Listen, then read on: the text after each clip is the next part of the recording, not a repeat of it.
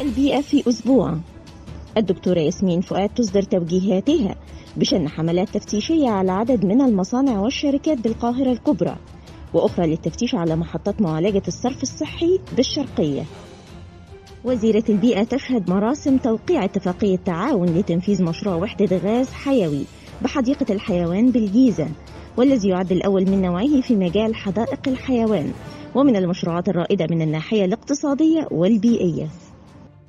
وعبر تقنية الفيديو كونفرنس دكتورة ياسمين فؤاد تناقش مع إحدى شركات القطاع الخاص فرص الاستثمار في تحويل المخلفات إلى طاقة وتؤكد العمل على خلق مناخ داعم وإتاحة الفرصة للقطاع الخاص للاستثمار في العمل البيئي.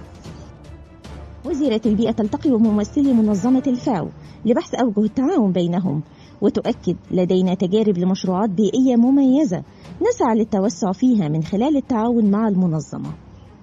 وتنفيذا لقرارات السيد رئيس مجلس الوزراء للحد من انتشار فيروس كورونا. وزيرة البيئة أصدرت توجيهاتها بإغلاق المحميات المركزية خلال أعياد شم النسيم. وتحت رعاية وزارة البيئة عرض بالمظلات على ضفاف النيل للترويج لحملة السيد رئيس الجمهورية إتحضر للأخضر. وذلك بالتعاون مع الاتحاد المصري للمظلات بهدف رفع ونشر الوعي البيئي لدى كافة فئات المجتمع. شكرا لكم وإلى أن نلقاكم في نشرة بيئية جديدة.